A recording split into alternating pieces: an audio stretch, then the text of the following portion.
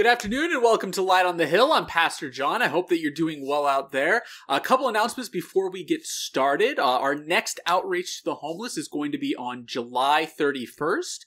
Uh, we'll be meeting at the church at 9 a.m. to put together lunches to take down to the homeless in Baltimore City. Uh, and then we'll be meeting at noon in the church parking lot at Timonium United Methodist Church to carpool down and hand those lunches out. So I hope that some of you uh, can join us for this uh, for that on July 31st. Uh, also, if you would like to support that ministry or any of the other ministries here at Timonium United Methodist Church, uh, we do have a donation link down below this video, which you can click on and support us in that way. Uh, I'm going to go ahead and get us into our scripture passage for today, which is from Luke 10 25 through 37. Just then, a lawyer stood up to test Jesus. Teacher, he said, what must I do to inherit eternal life? He said to him, What is written in the law? What do you read there? He answered, You shall love the Lord your God with all your heart and with all your soul, and with all your strength and with all your mind, and your neighbor as yourself. And he said to him, You have given the right answer. Do this and you will live. But wanting to justify himself, he asked Jesus, And who is my neighbor? Jesus replied, A man was going down from Jerusalem to Jericho and fell into the hands of robbers, who stripped him, beat him, and went away, leaving him half dead.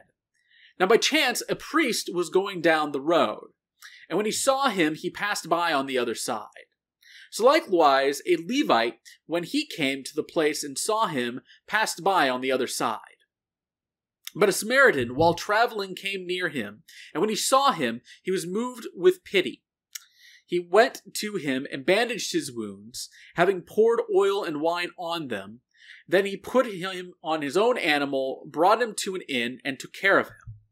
The next day he took out two denarii and gave them to the innkeeper, and said, Take care of him, and when I come back, I will repay you whatever more you spend. Which of these three do you think was a neighbor to the man who fell into the hands of the, of the robbers?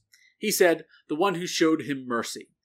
Jesus said to him, Go and do likewise. And now I'd like to invite you all to join me in prayer.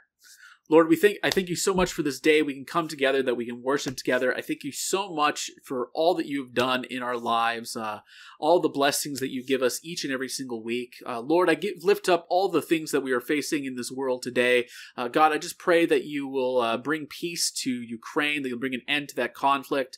I pray as well that you will continue to guide our leadership, our, our politicians and health officials as they guide us through the end of this coronavirus pandemic. And in your name, amen. Now I'd like to invite you all to join me for our first worship song today.